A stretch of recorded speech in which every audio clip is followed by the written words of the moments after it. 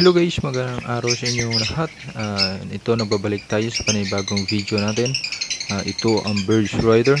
Pero kung bago ka pa lang guys sa ating channel, huwag mo naman kalimutan i-subscribe at mag-pinutin mo na rin ang notification bell para sa susunod natin na mga uploads updated ka. At guys, uh, ito kung, lalo na kung bago ka pa lang sa pag-iibon, uh, sabay-sabay natin tuklasin guys at sabay-sabay natin pag-aralan uh, ano ba ang mga dapat gawin sa, sa ating mga alagang ibon na kagaya nito. Kung minsan guys nag-upload din ako dito ng mga pagkukulang or kakulangan sa pag-aalaga ng ganitong ibon. Bali yung experience ko guys sa pag-aalaga. So maganda din yun guys na yung matuto ka sa pagkakamali ng iba o sa experience ng iba. So para maiwasan mo na sa hindi na mangyayari sa iyo. Mas maganda 'yun guys kaysa yung magkakamali ka pa or ma-experience mo pa yung mga pagkakamali bago ka matuto. So dito guys, matututo ka kahit sa pagka, hindi mo na maranasan yung pagkakamali dahil lang sa pagkakamali ng iba. So matutunan mo paano ito maiwasan, paano ito ma maitama. Pero mas maganda din guys na ma minsan ma maranasan natin yung mga pagkakamali dahil talagang magtatak sa ating isipan na kailangan ito iwasan sa susunod na hindi na mangyayari uli. Ang masakit lang guys kapag sa ating mga pagkakamali kung minsan kung ito'y nagdudulot ng mas malaking epekto. So lalo na sa ating pag-iibon, lalo na kung konti pa lang yung ibon mo at nagkakamali ka, nauubos lahat. Kaya kung minsan guys, eh, hindi lang yung mga predator ang ating mga kalaban sa pag-iibon, hindi lang yung daga, pusa, ipis, kundi may mga iba pa tayong mga dapat iwasan guys sa ating pag-aalaga. Gaya na naranasan sa buong mundo ngayon, itong pandemic. So yung, vi yung virus guys ay hindi natin nakikita. Oo nga, hindi natin nakikita. So ang tanong guys, ano ang dapat natin gawin? Kung tayo guys, ang ginagawa natin para natilihim laging maghuhugas ng kamay, maglalagay ng alcohol, at ganun din guys ang social distancing, pagsusuot ng face mask at face shield. So sa mga ibon natin guys, hindi natin yun magagawa. Hindi natin sila la pwedeng lagyan ng alcohol. At lalo naman ang face mask at saka face shield. So ang tanong ngayon, ano ang dapat natin palang gawin para maiwasan yung mga virus sa ating ibunan? Siyempre, para manatiling healthy ang ating mga ibon, ay bibigyan natin sila ng tamang pagkain, tamang diet, at bigyan din natin, natin sila ng malinis na tubig araw-araw. Palaging magpapalit ng uh, kanilang inuman na malinis na tubig at saka bigyan natin sila ng vitamins. At ganoon din pakainin natin sila guys ng mga gulay. So kung may katanungan ka sa papakain sa kanilang mga gulay, meron tayong mga previous uh, video na pwede nyo panoorin. Ganon, ganon din sa vitamins sa kanilang pagkain. So, kung gusto nyo guys, pa panoorin nyo na lang ang mga previous uh, video o uploads natin.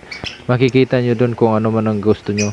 So, ngayon mga ka-Birds Rider, ituturo ko sa inyo kung uh, paano isanitize yung ating ibunan or ano ang sanitizer na ginagamit ng Birds Rider. So, ang ginagamit natin guys ay simple lang. Napakamura.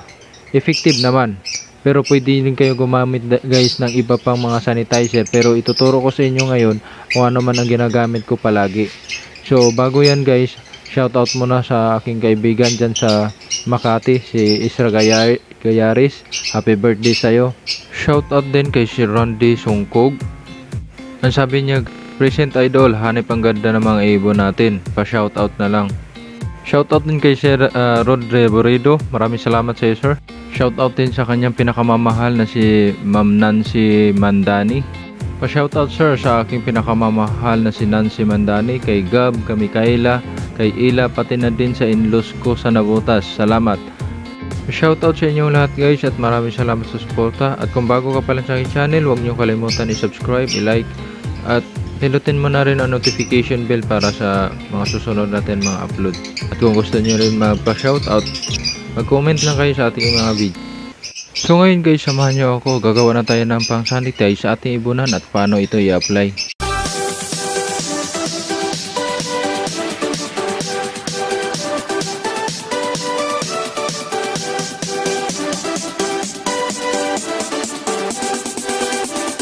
So guys, sabi ko kanina, kailangan i-sanitize natin ang ating mga ibunan para maiwasan natin ang mga sakit na lumapo sa kanila. So, ang ginagawa ko guys hindi naman araw-araw ko sinasanitize yung kanilang paligid kundi ah, dahil nga busy tayo guys ginagawa ko lang pag sanitize sa ah, ibunan. Ah, tuwing nag ge- general cleaning ako pag nalilinis ako so sinasabay ko na baka tapos maglinis sinasabay ko na sanitize sa paligid nila. So ang ginagamit ng Birch Rider guys ah, unang-una ay ang Sundrox so ayan Sundrox at samahan mo na rin guys ng shampoo. Hindi po tayo maglalaba at maliligo ha. So ayan guys ang uh, masangkap na gagamitin natin. Pero uh, naubusan kasi tayo guys ng uh, betadine. So pwede natin sana yung dagdagan ng betadine. Kaso wala naubusan tayo. So maliban dyan guys, siyempre gagamit tayo ng sprayer. So kailangan nyo rin ng sprayer. At uh, ang isa pa ay ang tubig. So hindi yan puro natin i-spray kundi ah, ilagay natin sa tubig o tutunawin natin sa tubig. Lalo lalo yan yung shampoo. Pero ang shampoo guys, ah, ginagamit natin yan, hindi yan siya kaka katulong pag sanitize kundi nakaka-list lang ng ano yung ah, amoy ng Sunrox. So para hindi masyado maamoy yung Sunrox guys, so kailangan natin ah, samahan ng pampabango o shampoo. So dahil kumpleto na ating mga kailangan, Uh, umpisa na natin ay halo ito.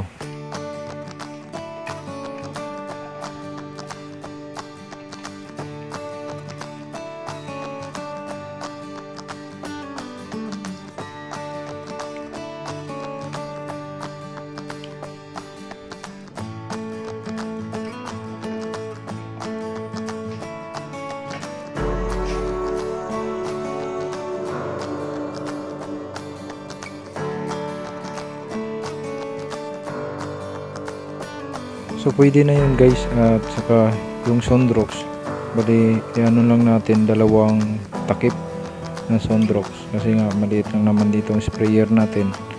So para hindi ganoon din katapang guys.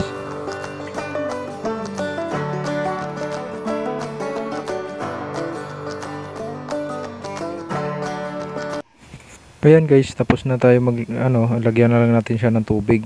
So ang paglagay natin ng tubig guys, hindi lang natin siya masyadong punuin yung sprayer para ma maalog pa natin, para ma-mix siya, matunaw yung shampoo kasi hindi na muna nat diyan na muna natin guys diniretso para hindi na tayo kakanaw o magmi-mix pa. So diyan na diretso na, diyan na lang natin siya i-mix sa loob. So yan na guys, ah, tapos na. Hali, uh, lugyan na lang natin para matunaw yung shampoo at saka ma-mix yun naman, naman din yung Sondrox. Pero guys, minsan uh, gumagamit, maliban sa shampoo, gumagamit din ako ng wash out. M- minsan yun ang uh, pinagmi-mix ko dun sa Sondrox kasi may bango din siya guys. Para hindi lang, ang purpose lang naman kasi guys, para lang hindi masakit sa ilong yung amoy. Dahil nga masakit sa ilong yung amoy ng Sondrox, lalo na kapag expose ka masyado. Maliban sa Sunrox guys, marami pa mga disinfectant na pwede tayong bumili. So, ito guys, nakikita nyo, meron tayong Lysol. Well, itong Lysol guys, bali hindi pa ako nakagamit nito. Bali ito kasi bigay lang sa ating kaibigan dyan sa Malate, Manila kay Benedict Mini Aviary. So, shout out sa iyo pare. So, ito guys, binibigay lang. So, sa susunod, ito na ang gagamitin natin. So, pero guys, nakadepende yan sa inyo kung ano man ang available or gusto nyo gamitin sa na pan-disinfection yung mga ibunan. So, ngayon guys, i-apply na natin sa ating ibunan. I-spray lang siya guys sa paligid nito. Sa ilalim ng, ano, sa gilid ng pader. Ganun din sa ilalim ng uh, kulungan or yung sa sa rack nyo. Yan, sa ilalim. So, spray lang siya guys. Spray lang na spray. Pero make sure guys ha, ito lang paalala ko bago kayo mag-disinfect yung mga ibunan kailangan make sure na walang uh, painuman sa kanilang kulungan or mas maganda guys mag-disinfect kayo yung uh, bago kayo magpapakain sa kanila. Kasi hindi nyo pa nalagay nung pakainan. At tanggalin nyo na rin guys uh, yung uh, mga cattle bone na kung mayroon kayong cattle bone na nakalagay. So tanggalin nyo na rin guys kasi ma mahirap naman pag na talsikan o kagaya, kagaya ng mga inuman na hindi nyo natanggal matalsikan ng sunrock so nakakasama din yun sa ating mga alaga so ganun lang guys, spray mo lang dyan sa uh, mga pader sa paligid. So hanggang sa ano yan. So kapag malaki na or malaki yung area ng yung disinfect guys, mas maganda bumili kayo ng sprayer na malaki para hindi na hindi masakit sa kamay mag mag-spray. So meron namang sprayer na uh, may hangin na siya para dire-diretso lang yung buga niya. So yun ang maganda guys, hindi kagaya nitong ginagamit ko, uh, maliit lang kasi nga maliit lang din naman yung ating pwesto. So ganun na guys, spray lang sa paligid So, yun. Madali lang naman siya guys. So, ito lang ang sikreto natin para hindi para maiwasan natin yung mga sakit na magdadapo sa ating mga ibon. So yun lang guys, sana may natutunan ka sa video ito at kung nagustuhan mo ang video guys, huwag mo kalimutan i-like at i-share na rin kung gusto mo. Maraming salamat. Ito ang Birds Rider. Hanggang sa muli. Bye-bye.